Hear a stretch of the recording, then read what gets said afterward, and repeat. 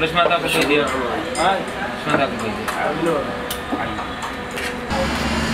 حلوة حلوة الضحكه طلبك يا صلاح الله يعينك ابو من أول ما عرف اولا اختيار المكان آه، كان مدروس من حيث مناسبته للمشروع بالعادة منطقة الفاتح وأكسراي. هي أكثر منطقة في إسطنبول للتجمع فيها عدد كبير من العرب.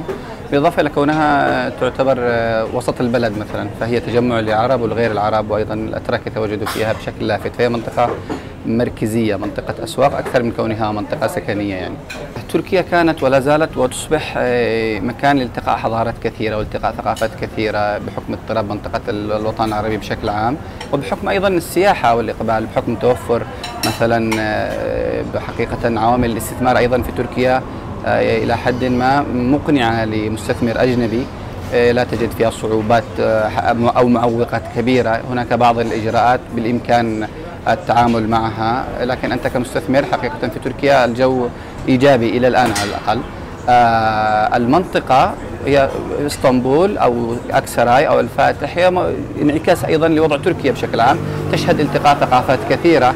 العالم اليوم أصبح قرية صغيرة والناس يلتقوا ببعضهم أكثر و- ويعرفون عن بعض أكثر.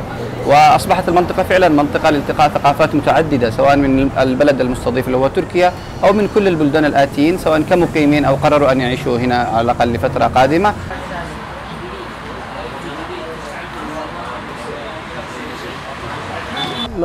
في البداية كنت سألتقي مع صديقي هو يمني و فدعاني ف- و- فأجبت وجئت وجئت معه معه هنا. فأكلت الطعام وعجبني جدا والله طعام جيد والثقافة عندهم جيدة.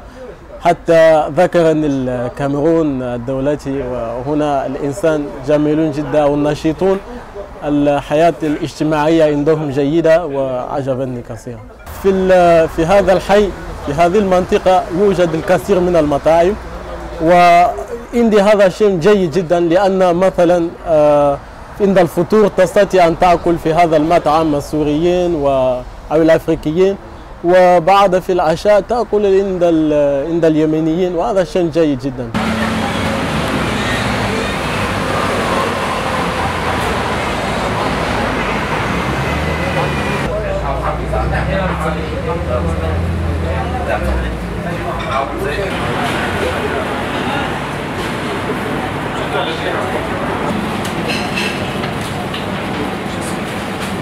información.